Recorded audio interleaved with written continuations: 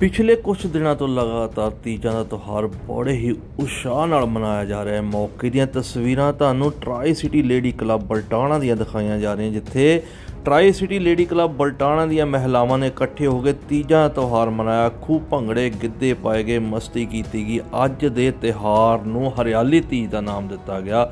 ਇਸ ਮੌਕੇ ਪੱਤਰਕਾਰਾਂ ਨਾਲ ਗੱਲਬਾਤ ਕਰਦੇ ਹੋਏ ਟਰਾਈ ਸਿਟੀ ਲੇਡੀ ਕਲੱਬ ਦੀ ਪ੍ਰਧਾਨ ਅੰਜਲੀ ਖੁਰਾਣਾ ਨੇ ਦੱਸਿਆ ਕਿ ਬੜੇ ਹੀ ਅਫਸੋਸ ਵਾਲੀ ਗੱਲ ਹੈ ਕਿ ਸਾਡੀ ਮੌਜੂਦਾ ਪੀੜ੍ਹੀ ਰੀਤੀ ਰਿਵਾਜਾਂ ਨੂੰ ਭੁੱਲਦੀ ਜਾ ਰਹੀ ਹੈ ਤੇ ਵੈਸਟਰਨ ਕਲਚਰ ਨੂੰ ਜਿਹੜਾ ਅਡਾਪਟ ਕੀਤਾ ਜਾ ਰਿਹਾ, ਉਹਨਾਂ ਦੱਸਿਆ ਕਿ ਅਜਿਹੇ ਉਪਰਾਲੇ ਲਗਾਤਾਰ ਕਰਨੇ ਚਾਹੀਦੇ ਹਨ ਤਾਂ ਜੋ ਸਾਡੀਆਂ ਆਉਣ ਵਾਲੀਆਂ ਪੀੜ੍ਹੀਆਂ ਆਪਣੇ ਰੀਤੀ ਰਿਵਾਜਾਂ ਨਾਲ, ਆਪਣੇ ਸਮਾਜ ਨਾਲ ਜੁੜੀਆਂ ਰਹਿਣ, ਆਪਣੇ ਕਲਚਰ ਨਾਲ ਜੁੜੀਆਂ ਰਹਿਣ। ਉਹਨਾਂ ਨੇ ਦੱਸਿਆ ਕਿ ਅੱਜ ਤੀਜਾਂ ਦੇ ਤਿਉਹਾਰ ਮੌਕੇ ਵੱਖ-ਵੱਖ ਗੇਮਾਂ ਖੇਡੀਆਂ ਗਈਆਂ, ਵੱਖ-ਵੱਖ ਮਾਡਲਿੰਗ ਕੀਤੀ ਗਈ ਔਰ ਪੁਰਾਣੇ ਇਤਿਹਾਸ ਨੂੰ ਯਾਦ ਕਰਕੇ ਗਿੱਧੇ ਭੰਗੜੇ ਪਾਏ ਗਏ।